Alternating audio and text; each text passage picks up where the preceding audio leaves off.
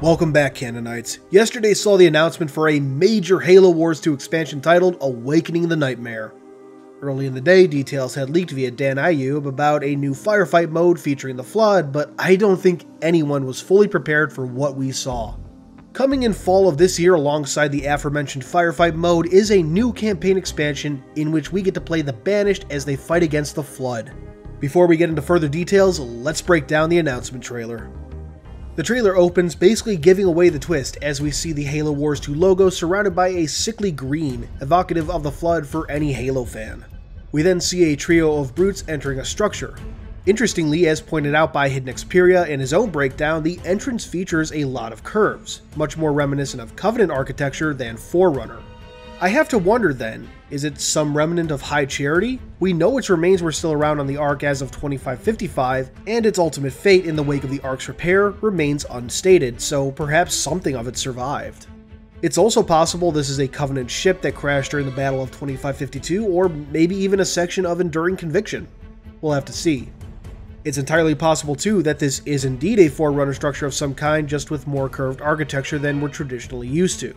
Interior shots from later in the trailer show yellow lights, which are much more Forerunner than Covenant, but I guess we'll have to wait and see. Moving on, in the background as the brutes enter, we can see a dead forest, and in the foreground, the classic sickly green, floodish atmosphere. This would seem to indicate that the Flood have taken over in some manner, possibly even having converted the local biome. As the brutes continue inside, we get our first look at a Flood infection form. We then cut to the form charging the brutes only to be killed by a spiker round. During this, we get a beautiful up-close look at the banished spiker, something I really need more information on. Wink wink, Grim. Interestingly, the infection form doesn't pop like we see in the games when it's shot, it just gets pinned to the nearby wall.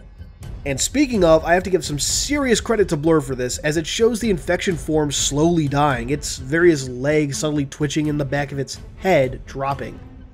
Beautiful animation work. We then get this big room shot I mentioned earlier with Atriox voicing over saying, I told you not to go inside. Whether that means Atriox knew about the Flood or merely suspected it might still be there is anyone's guess, but looking at the room, it's hard to say if this is Covenant or Forerunner. The room does look gray with yellow lights, which would be more indicative of Forerunner, but as mentioned earlier, the entrance and even some of the architecture seen here features a lot of curves more reminiscent of Covey architecture. We then get a brilliant shot of this brute frozen with fear dropping his spiker as we hear that classic flood scream in the background. We cut to black and you can hear some extremely visceral sound effects of the brutes being infected. It's absolutely glorious.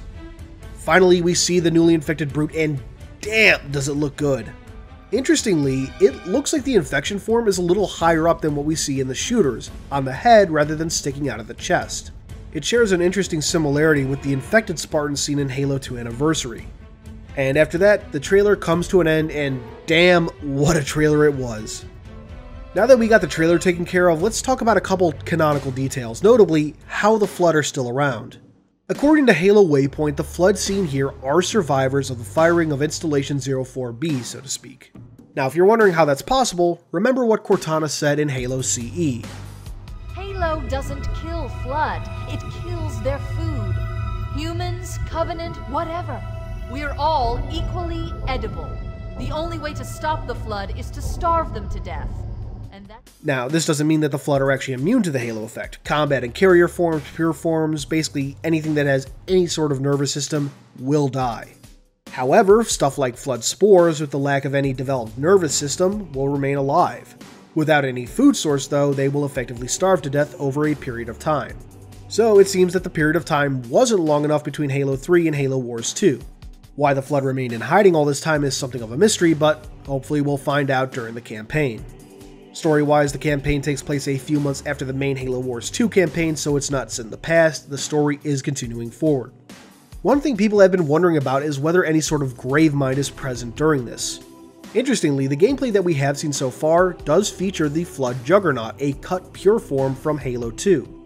Now, assuming the Juggernaut seen in Awakening the Nightmare is still a pure form, there must be some kind of Gravemind around, because pure forms, as you may know, need to be made by a Gravemind.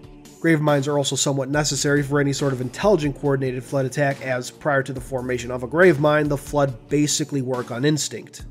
And that's the breakdown of the trailer and a couple of the more interesting canon facts.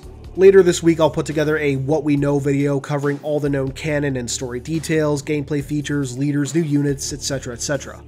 And be sure to tune into Xbox Daily on Wednesday for more details on this expansion. Until then, you can check out the Waypoint article I mentioned earlier, which is linked in the description box. I hope you enjoyed this breakdown, and until next time, this has been Halo Canon. Hey guys, thanks for watching. If you liked this video, please consider giving it a thumbs up, subscribing, and sharing it around. You are the reason I get to keep doing this, so thank you, profusely thank you.